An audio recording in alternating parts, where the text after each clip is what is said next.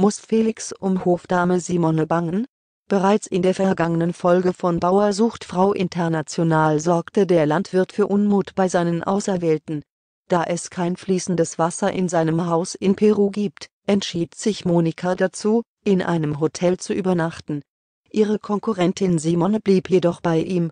Doch nun hat auch Simone etwas an Felix und den Umständen in seinem Heim auszusetzen.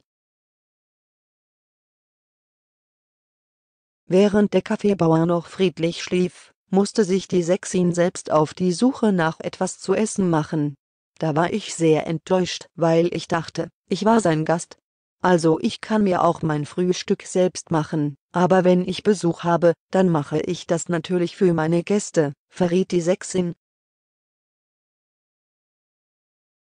Doch damit nicht genug, im Kühlschrank von Felix waren keine Lebensmittel vorzufinden, auch die Ausrede des Landwirts, dass er kein fließendes Wasser habe, kam bei der Hofdame nicht gut an. Simone zweifelt sogar an ihrer Entscheidung, für Felix nach Peru gereist zu sein. Das Gefühl ist weg, weil ich mir das anders vorgestellt habe. Es ist weg. Keine Ahnung, gestand sie sogar.